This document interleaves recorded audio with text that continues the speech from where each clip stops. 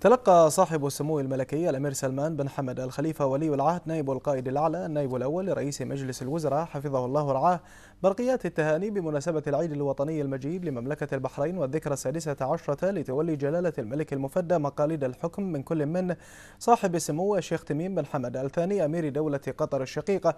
فخامة الرئيس أسايس أفورغي رئيس دولة إريتريا. معالي السيد الحبيب الصيد رئيس الوزراء بالجمهورية التونسية الشقيقة.